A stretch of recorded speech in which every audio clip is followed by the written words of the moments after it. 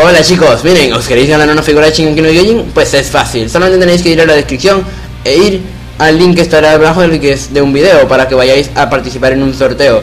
El sorteo es fácil y sencillo, si queréis la figura que de por sí es de una gran calidad y me ha costado mucho obtenerla, solamente tenéis que ir, solamente era este espacio publicitario pequeñito del canal y ya está.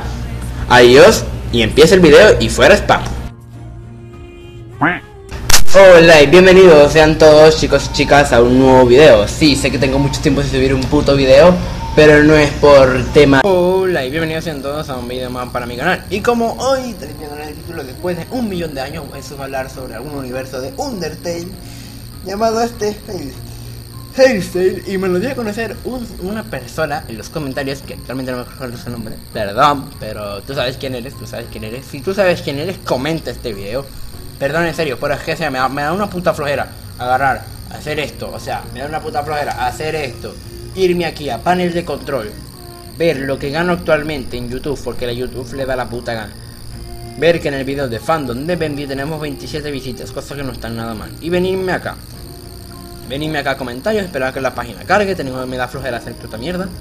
Y venir acá y darte un saludo porque soy un desgraciado y te voy a dar el saludo. Shadow Marcus, que... Shadow Marco Shadow Marco. Y dije Shadow Marcus, en serio. Shadow Marco, eh, aquí te mando un saludo porque me gusta conocer esto de Hestel. Eh, y lo conocí y me dio interés de mínimo hablar. Y antes de como siempre, como son siempre las cosas típicas aquí en el canal, voy a dar mi reseña, o sea, voy a hablar sobre este universo por encima para que vosotros lo veáis. Así que... ¡Empecemos, papu! Este universo empieza cuando uno de los universos alternos de Undertale, Freaks cae, un Freak sin cara, por cierto, un Freaks cae y, eh, y ve que todo está ido de olla.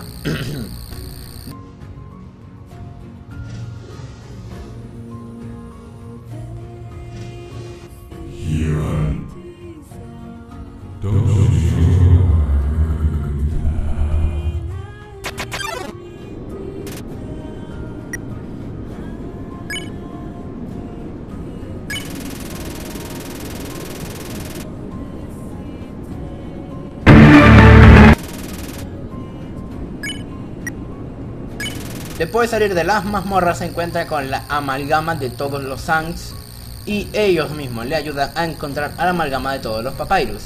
¿Qué sucede con este universo? Este universo se trata de todas las amalgamas universales que se han conectado.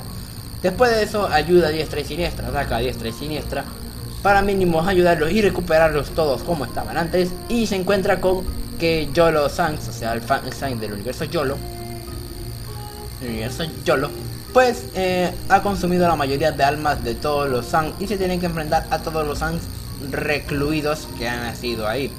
El universo amalgama, exactamente, creo que es más interesante. Lo chulo es que en general te enfrentas a todos los estos como tal.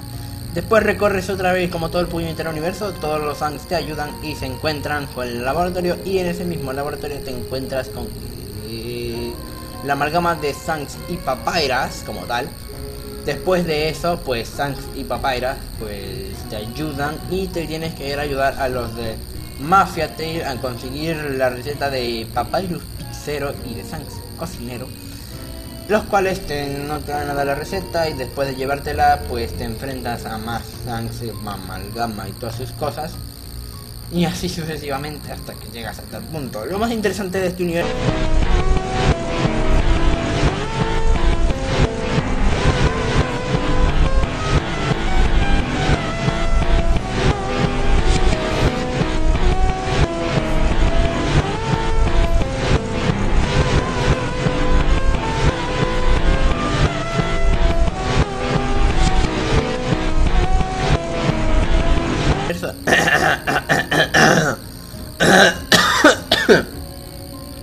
y estoy Lo más interesante de este universo es que todo es una amalgama, o sea, nada puede ser putamente normal.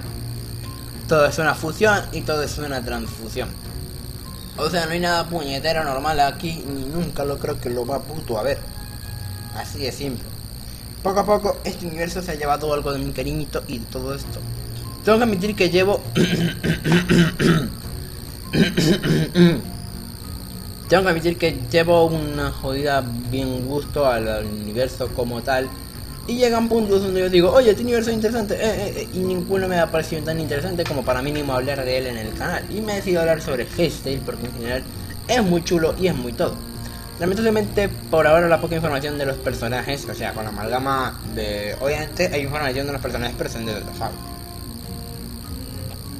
Luego te enfrentas a la poca información de los personajes como tal, que pueden ser eh, la amalgama Zanks, que contiene todos los ojos de todos los Zanks y toda la sonrisa de todos los Zanks. Y luego te enfrentas a Papyrus, que en general creo que es el único que me dio puto asco. Y así sucesivamente te enfrentas a Flowey y a todos los demás, y poco a poco. Pero creo que si tengo que hablar sobre un personaje que más me da puto asco, en general, es el Asgore. O sea, Asgore me ha parecido como el que más puñetero asqueroso. Más puñetero asqueroso que puedes puto ponerte a diestra y siniestra. O sea, o sea, voy a buscar, o sea, le voy a buscar un clic para que vosotros lo veáis. Así que eh, tenéis que verlo, papu. Tenéis que verlo, papu. Tenéis que verlo.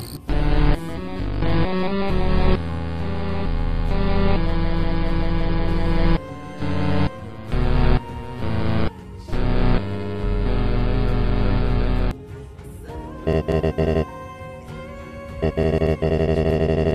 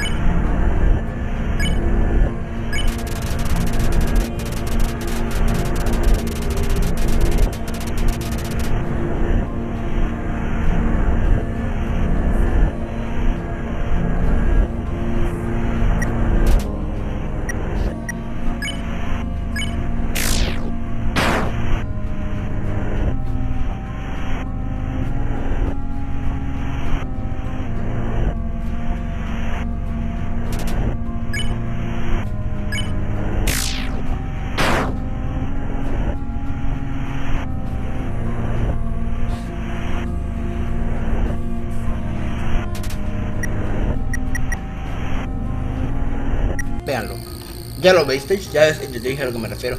Eso y una banda sonora que te van a partir los oídos, o sea, hacen que Asgore me dé puto asco, o sea, me dé puto asco en general. Me dé puñetero asco. ¿Por qué Asgore me da asco? Asgore. ¿Entienden el juego de palabras? Asgore me da ascos.